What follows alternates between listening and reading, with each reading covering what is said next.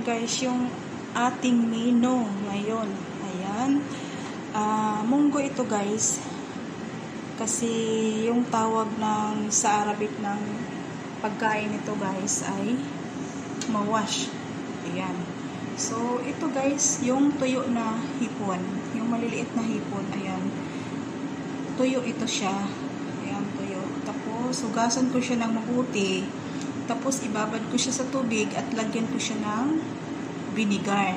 Ayan. Para ma mawala yung uh, kasi guys, itong uh, tuyo na hipon, medyo may amoy siya. So, kaya ilang bisis ulit-ulitin ang paghugas ng tuyo na hipon.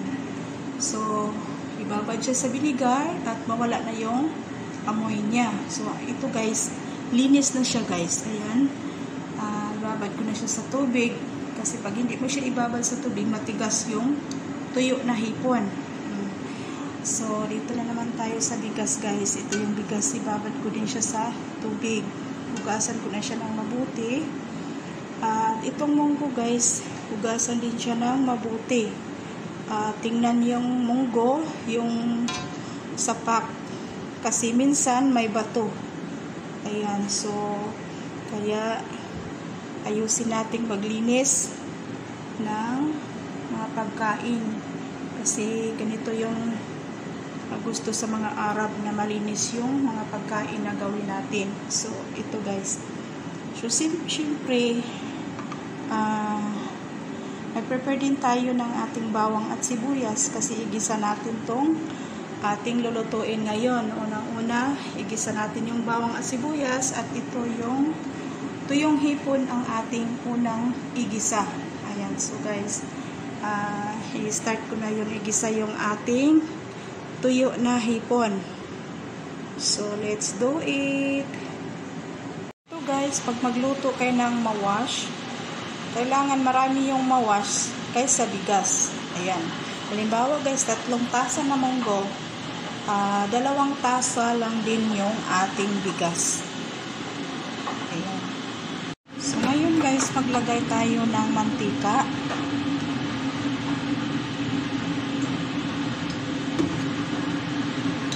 Ayan guys, nilagay na natin yung ating bawang. Tapos, sundin natin yung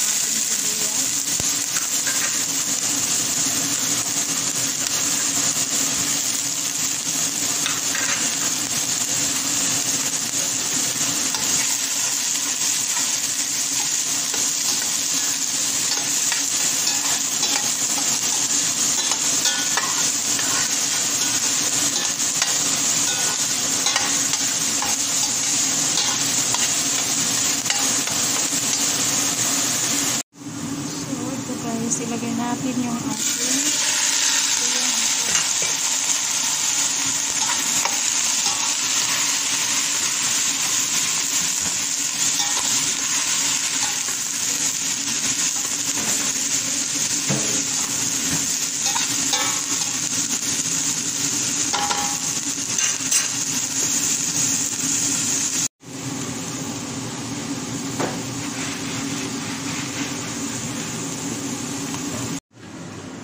yung ating ilagay guys na powder ricado ng ating mawash. Yung shrimp masala turmeric at black pepper powder at curry powder.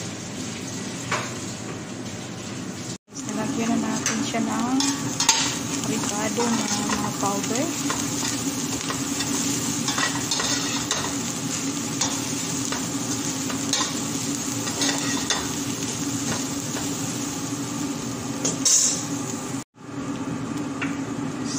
Okay, naging kulay dilaw na siya guys. So, lagyan natin siya ng asin. Ayan.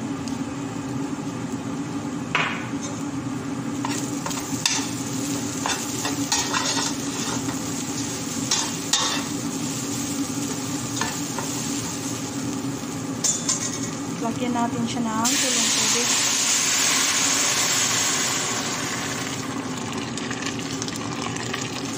kasi ilalagay natin yung ating munggo at bigas. So, ganito na siya guys, ilaga muna natin siya. Bago siya natin ilagay yung ating munggo at bigas.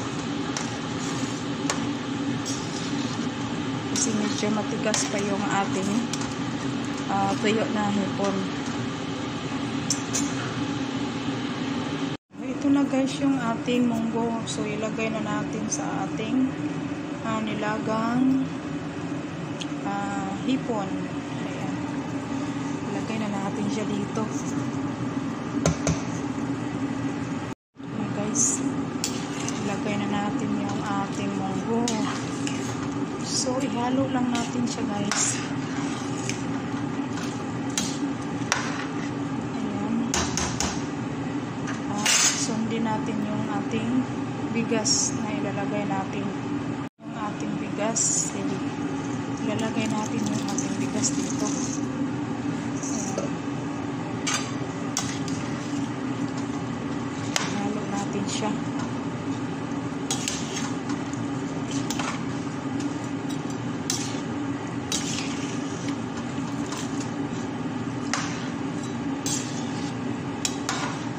Ito yung tinatawag nila guys na mawash.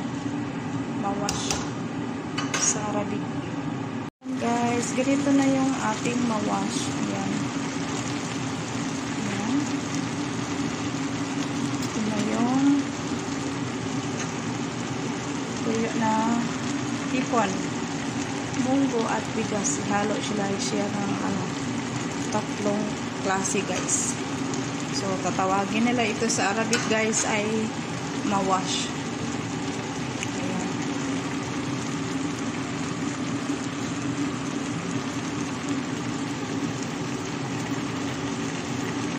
Guys, ito na guys yung ating rice at munggo. At yung hipon. Ayan, luto na siya guys.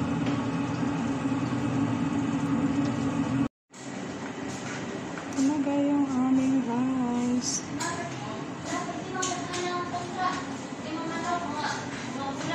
Ito yung aming sauce.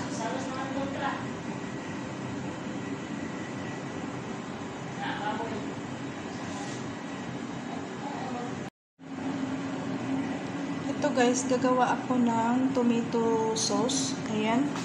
So, itong kamatis guys, uh, i-blender ko siya. Tapos, lagyan ko siya ng bawang. At i-blender ko siya. Kasi ito, ito yung gagawin ko na, na tomato sauce. Sauce ng aking uh, lulutuin ngayon. Yung tuyo na hipon munggo. So, lagyan natin siya ng bawang. Yan guys. At ngayon, i-blender ko na siya guys.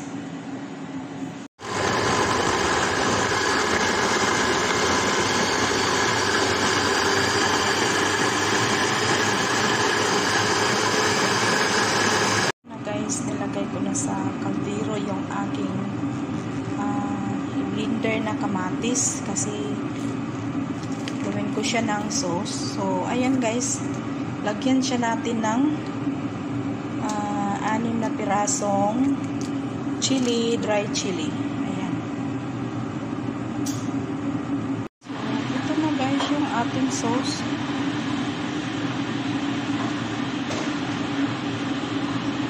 Ito lang din yung ilalagay sa ating sauce guys. Lagyan natin siya ng tomato paste. Ayan. At lagyan lang siya natin ng half lemon or one lemon at isang green chili. Ilagay na natin yung ating tomato paste.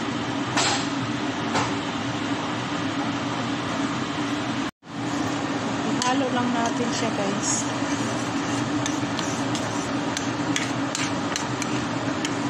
At lulutuin muna natin yung ating tomato paste para ma-mix siya sa nilagang blender na kamatis.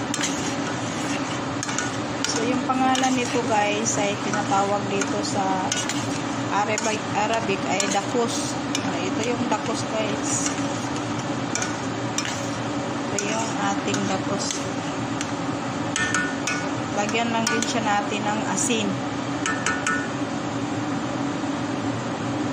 Ayan. Ito yung sauce nila guys. Lagyan natin siya ng asin.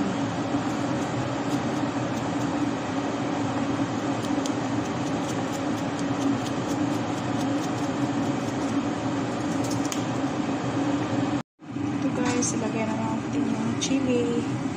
At ilagay natin yung ating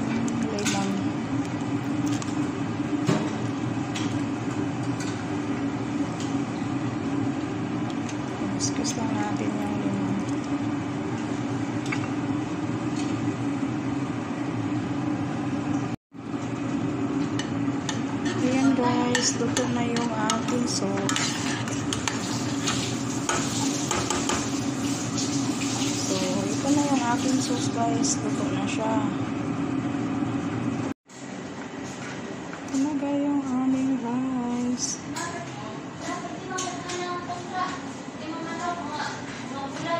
Ito yung aming sauce.